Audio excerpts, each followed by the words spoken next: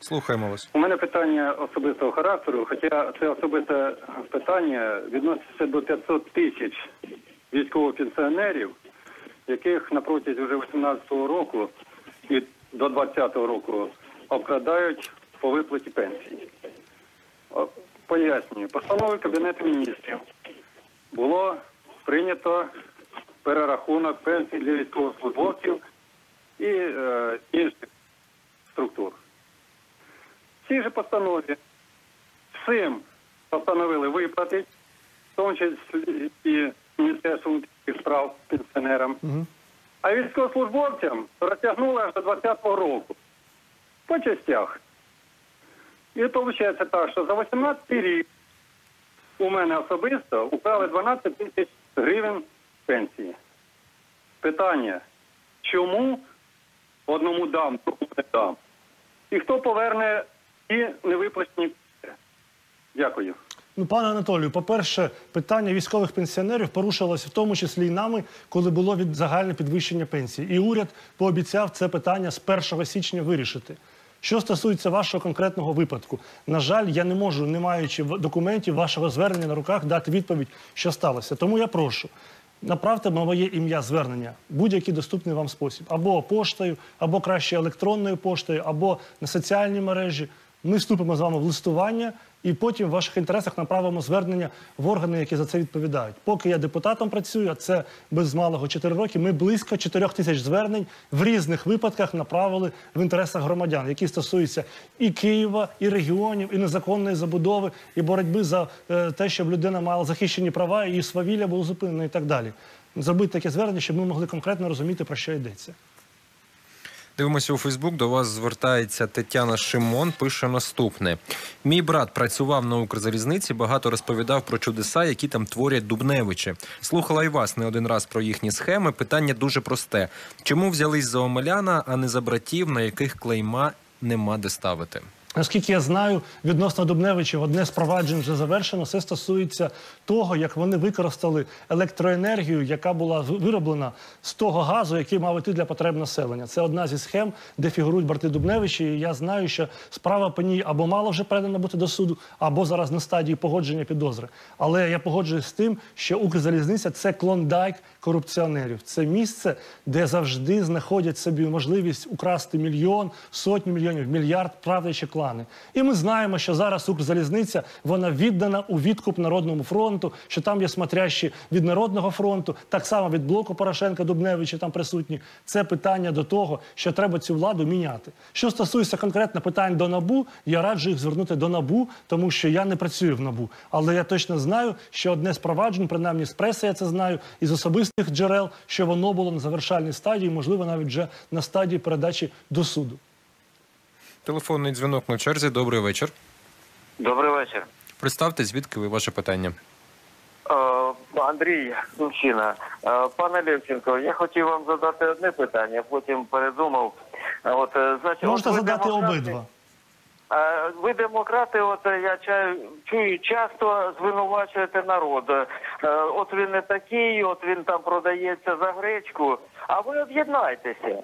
Об'єднайте свої там ресурси, людські, матеріальні, визначитися з єдиним кандидатом від е, е, проукраїнських е, сил. І тоді народ вас підтримує, і, ми подолаємо цю мафію Порошенка, там Народний фронт не буде вбивств, замахів на активістів. І от у мене питання таке: от е, я бачу, що не виходить об'єднання, і я боюсь, що у фінал вийдуть е, троїця е, антиукраїнських сил. Це може бути Порошенко, Тимошенко або там хтось із цього недобитих регіоналів, Медведчука.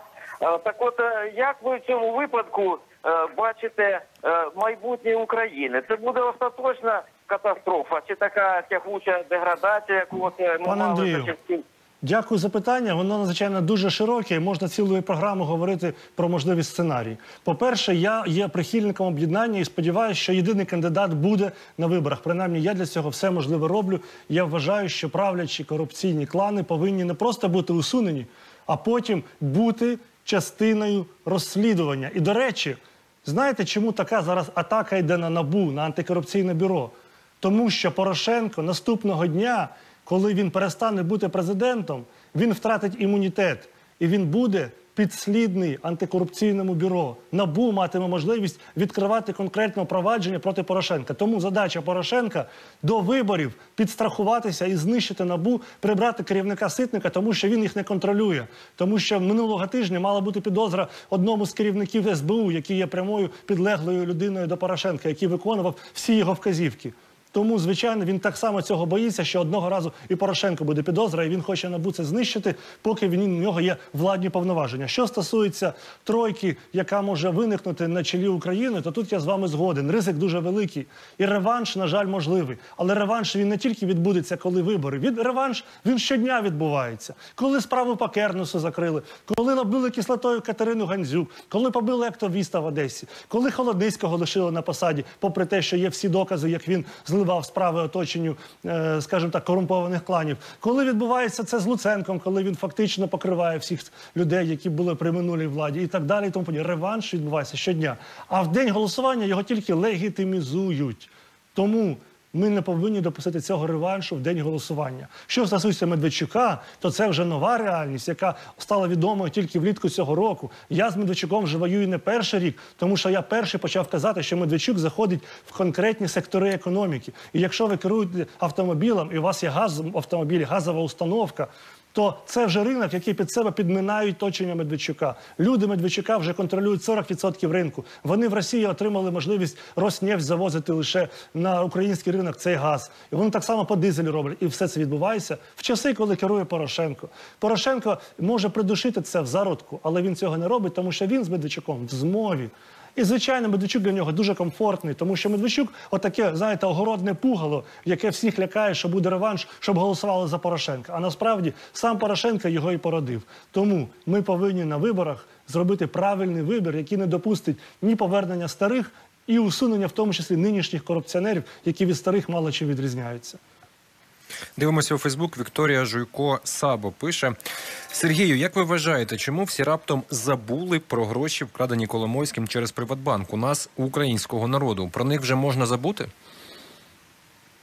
Це питання до генпрокурора, який випадково в Амстердамі зустрічався з Коломойським рік тому. Пам'ятаєте, була історія, що він, начебто, випадково там зустрів колишнього власника Приватбанку, після чого почалися кримінальні справи і вилучення, і обшуки в, ну- в нового вже керівництва Приватбанку, що якраз грало на руку Коломойському. Наскільки я знаю, зараз справа ця є в лондонському суді, і якраз одна з ідей Коломойського, щоб поставити на правильного кандидата, а потім вже після виборів президента і парламентських виборів отримати лояльного міністра фінансів, який буде до нього близький, щоб той міністр фінансів дав вказівку Приватбанку, який зараз є націоналізований, відкликати довіреність британським юристам, представляти Приватбанк в лондонському суді і в такий спосіб закрити питання раз і назавжди.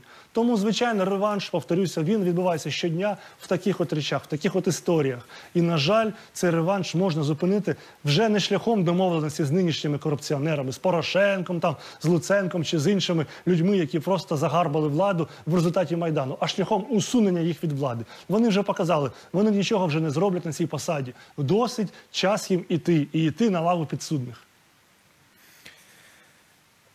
Телефон. Підказують мені, що зараз буде відео питання. Одне з них їх ми записуємо перед виходом нашої програми до ефіру. Давайте подивимось. Доброго вечора. Мене звуть Олександра. Я із Ужгорода. У мене до вас наступне запитання. Нещодавно на одній із телепрограм на телебаченні ви показали, скільки у вас грошей є у гаманці. Тож скажіть, будь ласка, скільки на день в середньому витрачає народний депутат Лещенко? Знаєте, я тепер буду на кожному ефірі показувати, скільки в мене грошей. Ми ж не домовлялись про це питання, ви знаєте, скільки в мене сьогодні.